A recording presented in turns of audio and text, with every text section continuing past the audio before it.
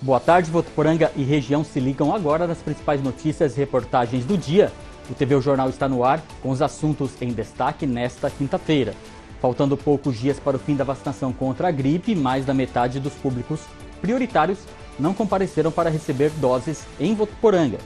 De volta ao município, o comandante da terceira companhia da Polícia Militar fala sobre trabalho de segurança na cidade e na região. No quadro mais verde, todas as curiosidades sobre o IP, árvore que colore paisagens por toda a nossa região nessa época do ano. Isso e muito mais agora no TV o Jornal, primeira edição.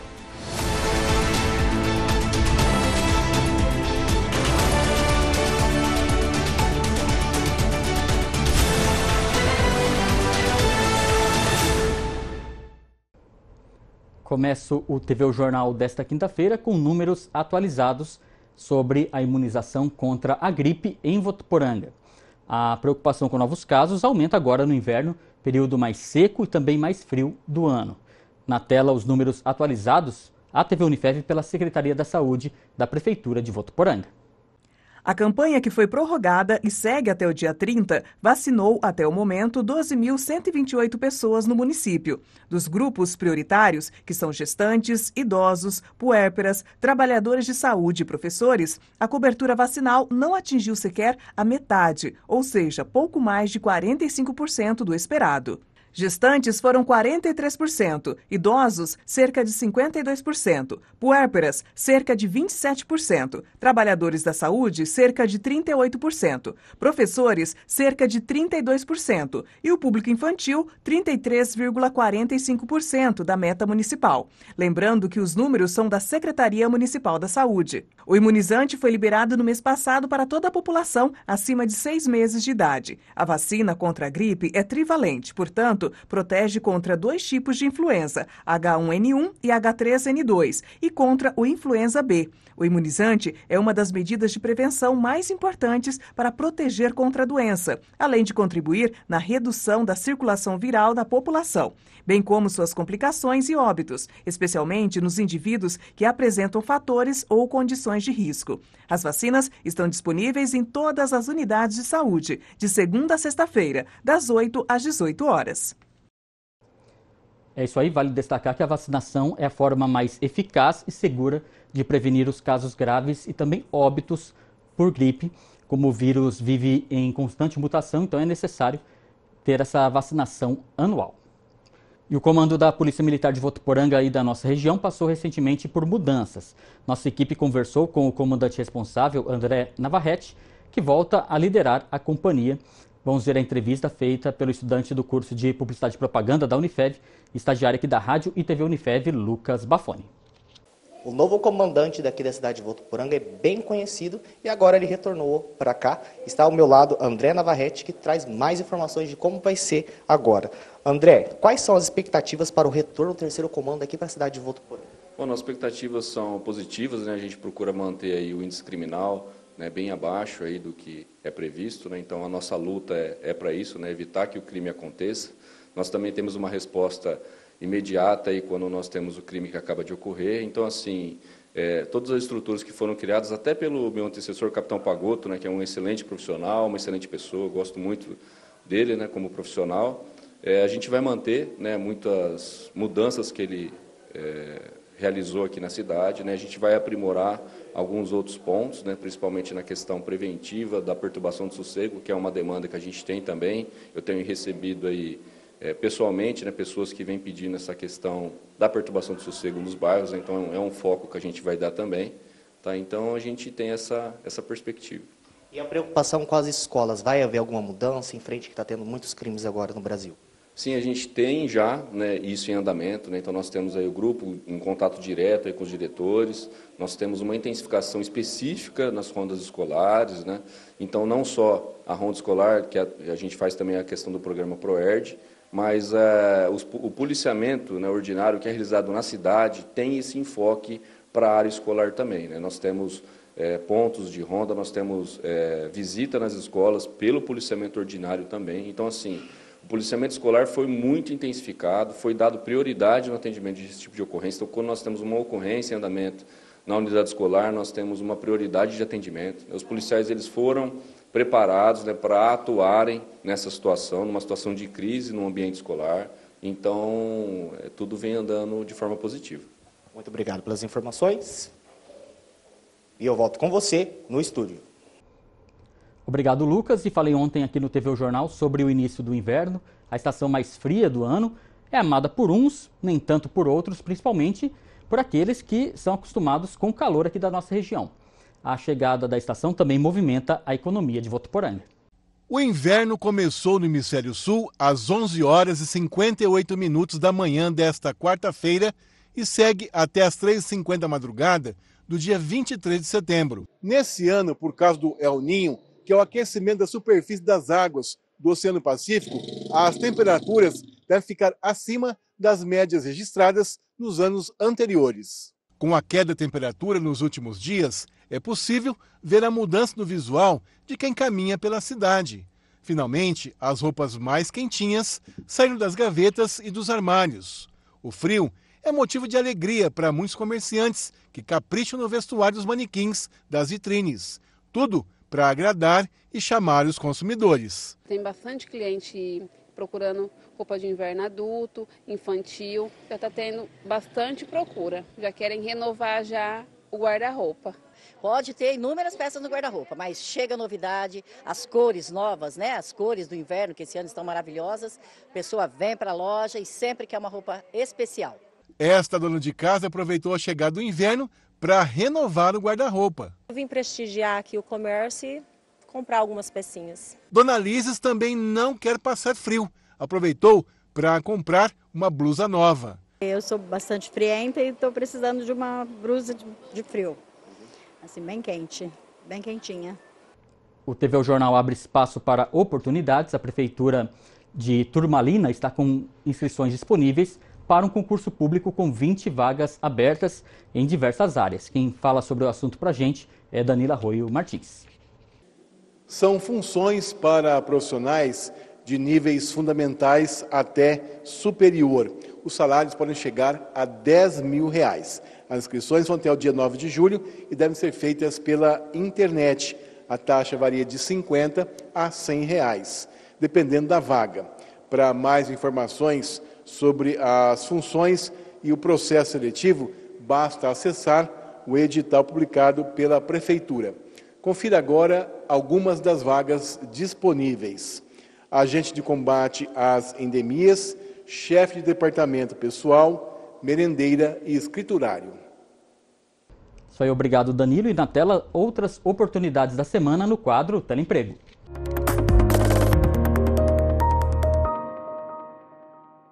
A Santa Casa de Votuporanga está com vagas abertas para enfermeiro ou enfermeira, cozinheiro ou cozinheira.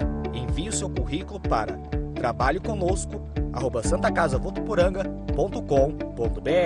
Já o PAT, posto de atendimento ao trabalhador tem vagas para em pintor, empacotador ou empacotadora, auxiliar de assador, operador ou operadora de caixa, repositor de mercearia, açougue. Também há outras vagas em outros setores em auxiliar de limpeza, auxiliar de produção, cortadeira, costureira, operador de guilhotina, serviços gerais, operador de dobradeira corte e dobra, mecânico de automóveis, marceneiro, montador de estofados, percinteiro, tapeçaria, tapeceiro e soldador. Mais informações podem ser obtidas na Rua Barão do Rio Branco, número 4497. A ACV, a Associação Comercial de Votuporanga, encaminha para contratações. Há vagas para professor ou professora de natação, motorista com CNH A e D, repositor, auxiliar de depósito, faxineiro, pintor, auxiliar de açougue, ajudante de motorista, recepção, coreandral, esteticista, cozinheiro, vendedor ou vendedora, operador de telemarketing, vendas, envie o seu currículo para emprego@cvnet.com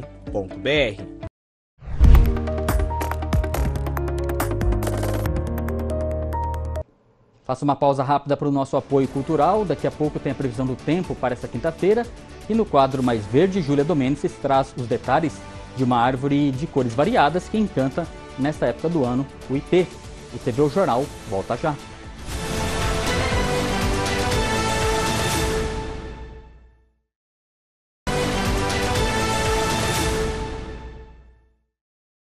O TV Jornal Primeira Edição está de volta e a quinta-feira tem sido de visitas aqui no Campo Centro e também na cidade universitária da Unifev. Assistidos do Centro Social de Votuporanga e também alunos de uma escola estadual de São João do Marinheiro conheceram toda a estrutura do centro universitário e também aqui da rádio e TV Unifev. A visita teve a participação de adolescentes assistidos pelo Serviço de Convivência e Fortalecimento de Vínculo do Centro Social de Votuporanga o objetivo foi concluir as ações desenvolvidas pela Oficina Cidadania, como forma de despertar e motivar os jovens na busca de um futuro melhor. Durante o tour, foram visitados diversos ambientes, como, por exemplo, laboratórios e os estúdios da Rádio TV Unifev. Além de conhecer os espaços físicos da instituição, os visitantes tiveram a oportunidade de tirar dúvidas sobre os cursos oferecidos pela Unifev. Os jovens eles tiveram a oportunidade de conhecer melhor a Unifev, né? E todos os cursos que ela oferece e todas as suas, de, as suas dependências. Isso vai enriquecer muito o aprendizado deles com o trabalho que é desenvolvido no centro social. Quando a gente está por fora, a gente vê, nossa, é muito pequeno, mas por dentro é enorme, com várias salas, muitos cursos. Gostou bastante? Sim. Achei legal, tem vários conhecimentos que eu não sabia achei importante. O que, que você mais gostou? Da rádio. Também nesta quinta-feira, um grupo formado por alunos do ensino médio da Escola Estadual Arthur Francisco Andriguete, que fica em São João do Marinheiro, distrito de Cardoso, estiveram na cidade universitária. A atividade teve como foco complementar as ações do projeto da disciplina de eletivas, em busca do sucesso e turistando pelos seus sonhos dessa unidade escolar. Eles também passaram por diversos setores e acompanharam com atenção as informações sobre os cursos. A gente precisava de uma instituição que fosse conhecida, né? E como a gente é de São João do Marinheiro, que é uma cidadezinha pequenininha, mais acessível para a gente seria Votuporanga. Eu já estudei aqui, então uniu muito agradável. Eu achei muito interessante e eu achei muito benéfico para nós alunos, né? Porque é interessante visitar a universidade assim, para a gente já ter um conhecimento do que, que a gente quer. Se a gente quer vir para a universidade, se agradou as nossas expectativas. E dentro de que você viu aqui, você acha que pode te ajudar futuramente na escolha da profissão? Pode muito. Que eu vi aqui pode ser várias coisas que eu quero ser aqui, como arte, essas coisas que eu gosto muito de desenho eu quero ser, quero estudar aqui mesmo. Gostou bastante? Muito. Recomendo então? Recomendo para todos os alunos, né? Agora a previsão do tempo, de acordo com o portal Climatempo, a quinta-feira tem tempo firme e ensolarado durante todo o dia no estado de São Paulo. A condição só aumenta a preocupação com a baixa umidade relativa do ar, que hoje se mantém em níveis de alerta. Toda atenção, principalmente agora à tarde. Em Floreal, temos a máxima de 28 graus, a temperatura mínima de 15 e umidade do ar variando entre 60% e 27%. Em Valentim Gentil, a máxima de temperatura hoje 28, a mínima 16 e umidade máxima do ar 64, mínima 26%. Em Tanabi, a temperatura chega a 29 graus, a mínima 15 graus, a umidade do ar mínima em 27% e a máxima em 62%. Em Votuporanga, termômetros marcam a temperatura máxima de 28 graus a mínima de 15 graus. No momento, a temperatura já é de 27 graus. A máxima será atingida daqui a pouco, após as 2 horas da tarde. Umidade do ar tem a máxima de 60% e a mínima de 27%.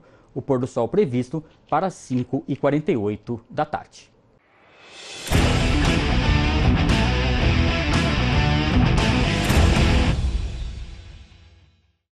Reforço no TV Jornal que a Prefeitura de Votuporanga divulgou uma boa notícia aos interessados em artes marciais. Agora a cidade conta com aulas gratuitas de ninjutsu, uma modalidade japonesa que conquista cada vez mais adeptos ao redor do mundo. Quem traz os detalhes sobre como fazer a inscrição é o estudante do curso de Publicidade e Propaganda da Unifev, estagiário aqui da Rádio TV Unifev, Lucas Bafone. As aulas vão ser aos sábados, às 16h30 até às 17h45 e aos domingos, às 15 horas até às 17h30 e podem participar pessoas a partir dos 9 anos e é imprescindível que você leve seu documento de identificação pessoal, o RG, e esteja acompanhada pelos pais no dia de fazer a sua inscrição. E diferente das outras modalidades, não é um esporte competitivo, mas sim uma ciência marcial. Seu treinamento busca integrar corpo, mente e espírito, essenciais para o desenvolvimento pleno do ser humano. Além de fornecer habilidades físicas, o ninjitsu promove a harmonia com a natureza, a superação de limitações pessoais, o aumento da autoconfiança e a capacidade de viver em equilíbrio consigo mesmo. As inscrições já estão abertas e podem ser realizadas no Centro Social Urbano, o CSU, que fica localizado na rua Tomás Paz da Cunha, ou mais informações podem ser obtidas na Secretaria de Esportes e Lazer de Votuporanga, que é pelo telefone 17 3426 1200 e eu volto com você no estúdio. Tá certo, obrigado Lucas. E chegou a hora do quadro mais verde. Júlia Domenices traz hoje os detalhes e também curiosidades de uma árvore de cores variadas que encanta pela beleza nessa época do ano, o IP.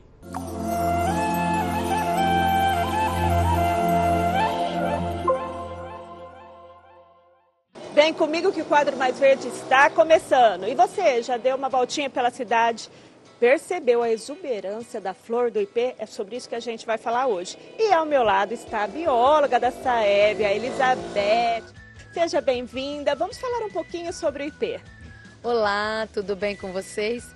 Vamos sim. O IP que é a árvore símbolo, né, do nosso Brasil aí, apesar da gente ter o pau-brasil que nos representa muito bem, mas a nossa árvore símbolo é o IP, né, principalmente o IP amarelo. E existem várias cores, como que é? Tem, tem sim. A gente tem aqui no nosso viveiro municipal, por exemplo, nós temos o IP rosa, que está florindo todos agora, né? Você pode passar e você vai ver uma grande quantidade de IP rosas florindo. Aí temos também os IPs amarelos, os brancos, temos também os IPs roxos e temos a exuberância de um IP exótico, que é o IP verde.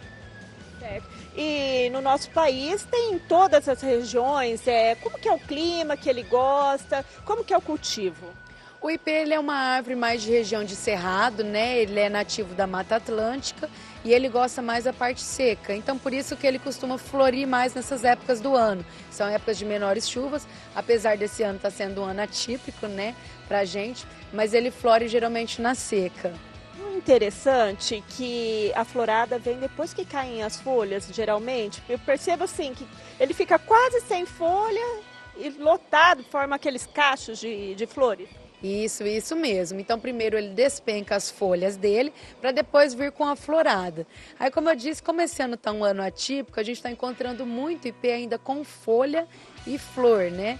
E aí é onde vem a representação pelo IP amarelo ser considerado né, o símbolo do Brasil, porque ele representa a nossa bandeira. Então ele tem a flor amarela e as folhas verdes. Então eu acredito que esse ano, com a quantidade de chuva que tem, a gente vai representar muito bem a nossa bandeira com eles. E quem quer plantar uma árvore é, de IP? Onde pode plantar? Tem que escolher o local certo por conta da fiação? Tem o local adequado? Tem, tem sim. Temos IPs de grandes portes que não podem ser plantados na calçada. São os casos dos IPs rosas, os IPs roxos e os IPs amarelos cascudos. Então eles não podem ser plantados em calçada. Para isso nós temos outros tipos de IPs. Nós temos o IP branco, que também fica muito esplêndido, e ele também tem uma copa um pouco menor, então ele tem uma altura menor.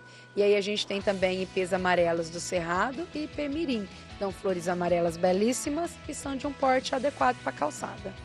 E é, é, com o plantio, é com estaca, muda, semente, como que é? Fala um pouquinho. O plantio é só você ligar nessa época, para quem tiver interesse, nós temos mudas já acima de 1,5m, 1,80m. Nós fazemos o plantio de graça para você através do programa Disque Árvore. Então você nem precisa se preocupar com isso, basta ligar para a gente na Saev, um técnico vai até o local, vai abrir o buraco, já vai colocar a adubação própria para o IP lá, ele realiza o plantio e faz o estacamento. Depois disso é só ter a manutenção. E a manutenção é assim? A manutenção é simples. É só você ir tirando todos os brotinhos que vão crescendo no tronco dele, para ele ficar com uma copa única, né? E frondosa, porque senão ele vai ficando todo ramificado. Certo. E o casco dele, né? O tronco dele é muito resistente, também muito procurado.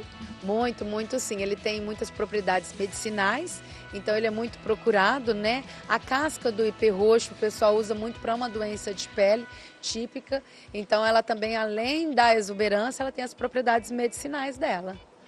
Certo. Olha, Beth, muito obrigada pelas dicas. Estamos aqui junto de novo. A SAEF está sempre à disposição. Quem quiser, tiver interesse em ter um IP na sua casa, basta ligar lá para gente que a gente vai lá plantar para vocês. Obrigada, até mais, gente. Tchau, tchau. Obrigada. Bom, gente, tá fácil, hein? Já pensou ter uma árvore dessa florida aí na sua casa? Fácil, fácil. É só ligar na SAEF que eles arrumam tudo para vocês. Então não tem desculpa para você ter uma árvore aí na sua casa. Até a semana que vem. Tchau, tchau.